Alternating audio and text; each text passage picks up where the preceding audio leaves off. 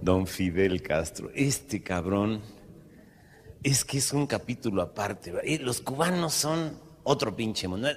Están alegres toda su puta vida, no saben ni por qué, pero están alegres, cabrón. De veras, los ves allá todos madres, pero están alegres. Y don Fidel es muy buena onda, el cabrón dicen que fue, bueno, no dicen, fue a, la ONU a decir pendejadas ahí.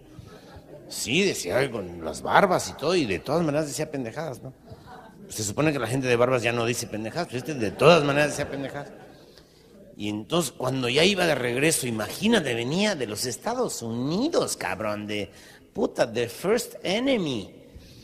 Y ahí venía en el puto avión y aterrizó, cabrón, y luego lo ya sabes, todo, TV cubana y radio cubana, todo es cubano ahí, ¿no? Llegaron y, oiga, comandante, ¿qué fue lo que más le gustó a usted de los Estados Unidos? Dijo, a mí Madonna.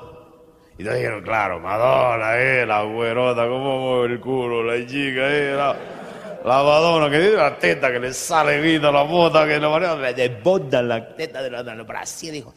No, no, no, Madonna, la que tiene carne y queso, hamburguesa esa. Ah, McDonald's, cabrón. Chingada madre. Pues sí, está cabrón. Y el otro que... Justo después de eso se fue al, al, al Zócalo, ahí en la calle de Habana, en esquina con Fidel. Habana y Fidel. De veras. Ahí se para, cada vez que quiere decir pendejadas, ahí va y se paran y ahí llevan a la gente. Igual que aquí. Ahí llevan a la gente. Aquí no la llevan, aquí va, pero... Entonces se paró ahí Fidel y dijo, estoy hasta el culo de que la gente se quiere ir a Miami. O como se le quiera decir, me vale madre. Se quieren ir, que se vayan a la mierda. A la mierda. Que es como la caca, pero así.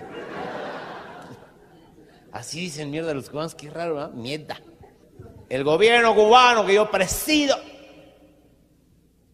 va a rentar un avión para que mañana todos los cubanos que se quieran ir a Miami se vayan en un avión, en unas pinches barcas de mierda que los comen los putos tiburones ahí.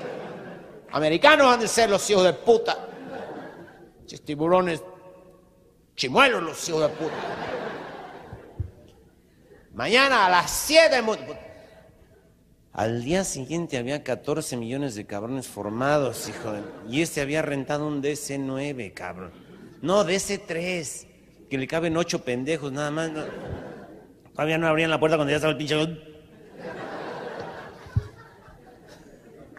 Y llegó el comandante, coño, venía elegantísimo, de veras, de veras.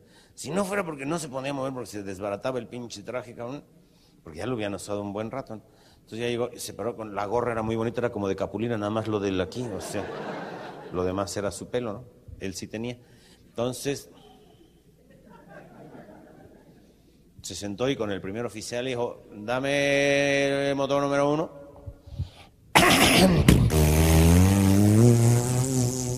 Oh, coño, qué chulada de máquina esta, como me gusta, cómo suena la puta que lo parió. El do.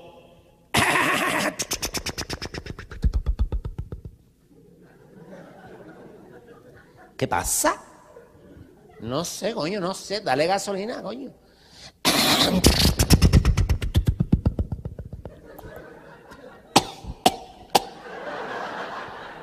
¿Cómo tose? ¿Usted ha ido a toser a los motores, señora? Sí.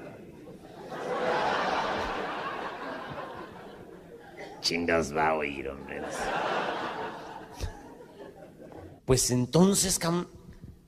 y, dale gasolina.